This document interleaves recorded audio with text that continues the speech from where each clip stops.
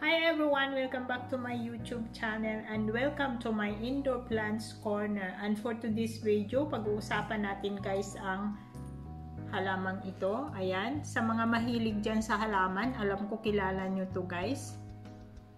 Ayan, uh, popular na popular to ang halamang ito. Ang pangalan nito is uh, Philodendron Monstera deliciosa. Ayan. Ano to siya guys, yung small version ng Philodendron Monstera deliciosa. Ayan. So, ang pag-uusapan natin kung paano ito alagaan. Ayan, mag-uumpisa tayo sa lupa. Uh, kailangan guys, itatanim nyo sa well-drained na yung makaka-drain yung lupa kasi mayroong mga lupa guys na ano, yung nagho-hold ng tubig. So, hindi po pwede yun. So, kailangan nakaka-drain yung tubig sa ating sa ating uh, ano, yung yung tataniman natin ng ating Philodendron Monstera deliciosa kasi sensitive to guys sa tubig.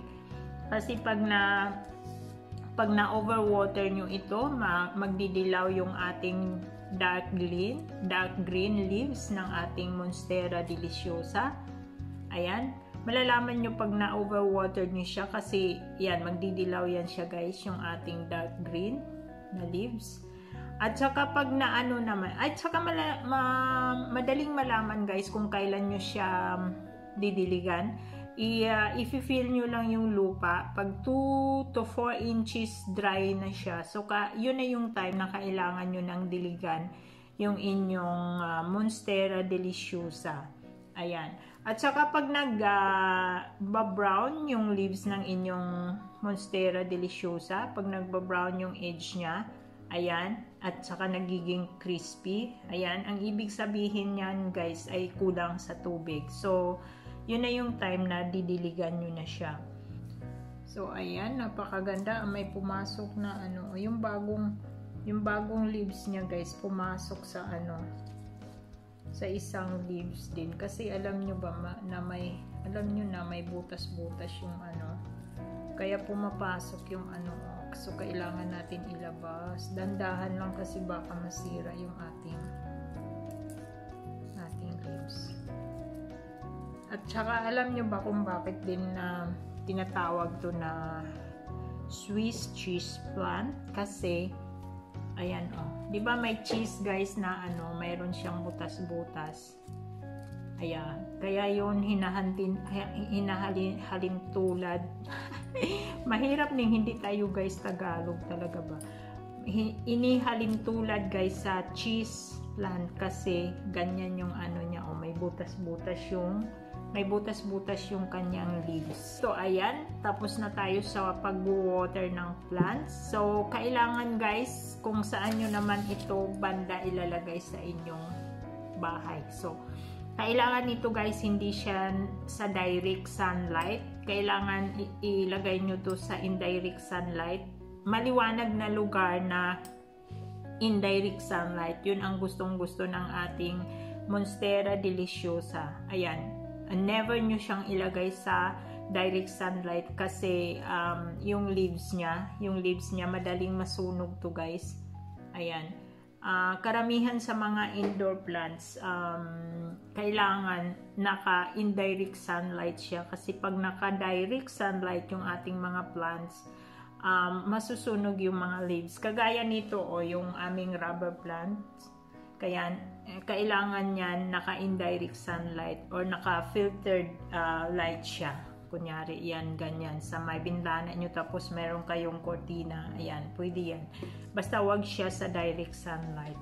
Ayan. At saka yung pag uh, fertilize nga pala nito um, karamihan habang lumalaki yung ating plants doon natin sila i-fertilize uh, kunyari kami nandito kami sa Europa so ano, yung mga indoor plants namin guys, hindi namin binibigyan ng fertilizer sa pag-winter kasi bumabagal naman yung paglaki na, nila. So, hindi natin sila kailangan bigyan ng fertilizer.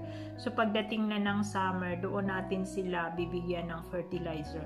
At saka, yung mga ano ko dito, yung mga plants ko dito, tinitingnan ko lang sila kung kailan nila kailangan ng fertilizer. Kasi pag uh, parang nagyelo na yung ano nila yung leaves nila. So ibig sabihin yan ay kailangan na nila ng fertilizer. Ayan. So ganun din guys dito sa ating um, monstera deliciosa. Uh, kailangan natin to i-fertilize habang lumalaki. Kasi nga doon nila kailangan ng kumbaga lakas para para mag-ano yung paglaki nila. So doon natin sila i-fertilize during the uh, yung sa paglaki nga nila.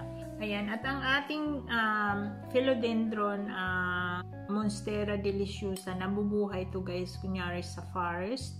Ayan, so kailangan nito ng humidity. So kailangan um, pag nandito to sa loob ng bahay or pwede natin tong i-spray guys isprayhan natin sila once uh, once a week. Kailangan i-spray yung dahon nila. So, at pag nag-spray tayo, kailangan sa umaga para may oras na maka ma-evaporate yung ano, yung yung tubig.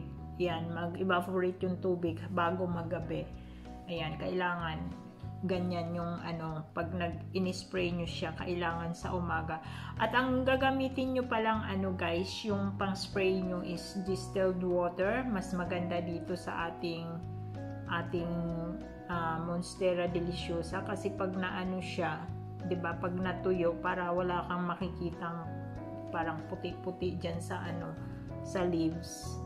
Ayan. At saka, ayan, pag ano nga pala, di ba, hindi maiiwasan na pag sa ano, ma, may mga alikabok yung ating leaves ng ating Monstera deliciosa. So, so i-spray lang natin sila ng tubig tapos dahan-dahan natin i-wipe yung ano, yung yung alikabok diyan sa ating mga ano, sa ating mga halaman. Ayan, hindi lang guys dito sa ating Monstera deliciosa kundi sa iba nyo pang plants kagaya nitong rubber plants kasi malalaki yung dahon yan. So hindi maiiwasan na nagkakaalikabok yan. So parang magandang tingnan shiny at anong at healthy yung leaves ng ating mga indoor plants. Kailangan i-sprayhan natin ng distilled water tapos iwa-wipe natin siya ng konti ayan so para magiging healthy para magiging happy yung ating mga indoor plants. So again po, um, pag nag-water kayo ng inyong uh, Monstera deliciosa, if-fill nyo yung soil niya, 2 to 4 inches. Pag dry na siya guys, yun yung time na didiligan nyo na. At kung makikita nyo na nag-yellow yung leaves ng inyong Philodendron Monstera deliciosa, yun po ay na sobrahan nyo po sa tubig. Ayan. So, kailangan nyo guys talaga tignan yung soil bago kayo mag, ano, mag, magtutubig ng inyong uh, Philodendron Monstera deliciosa.